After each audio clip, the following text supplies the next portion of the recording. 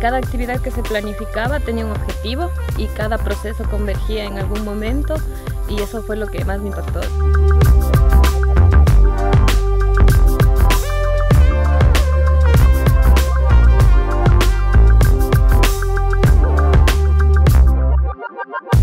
Las mañanas empezaban siempre con actividad física,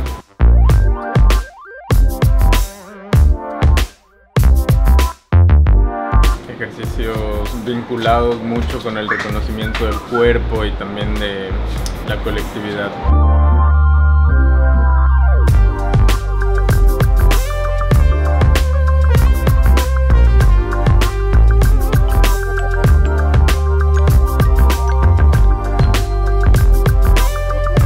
Funciona porque nos ayudaba a tener despierta la cabeza, la mente para empezar a escribir las historias.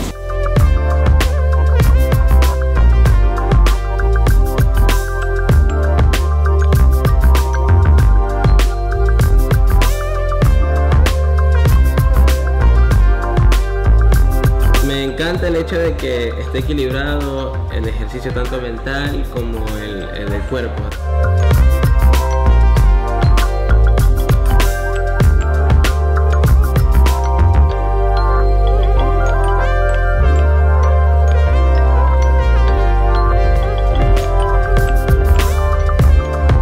Creo que obviamente la parte de más reto fueron los ejercicios en grupo, porque estuvimos rotando por diversos grupos, creo que llegamos a trabajar todos en algún momento juntos.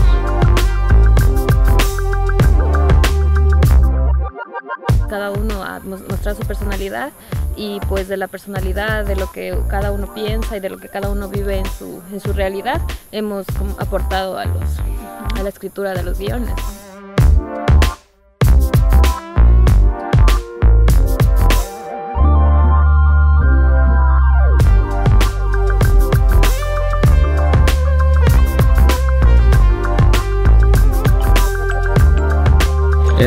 Siempre como que un punto de vista más fresco y renovar y renovar y ver cómo se iba estructurando y saber como que estas tres historias que hicimos es lo que es el resultado de la convivencia, del compañerismo y de tanta paciencia que nos tuvimos todos.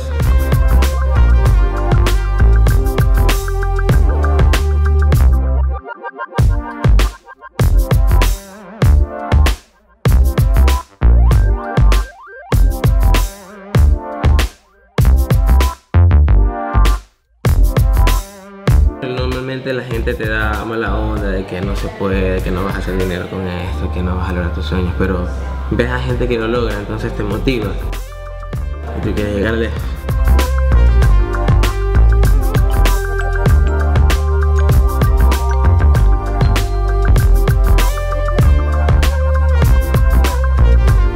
La cuestión de negociar las ideas, de llegar a acuerdos, de ceder frente a lo que tú crees que está bien y la otra persona quizá no lo ve de la misma manera.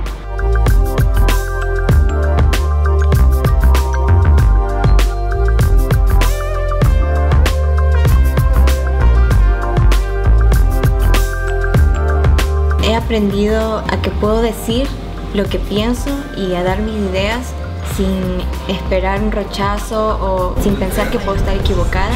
Si no lo decimos, nunca vamos a saber si estaba bien o si estaba mal.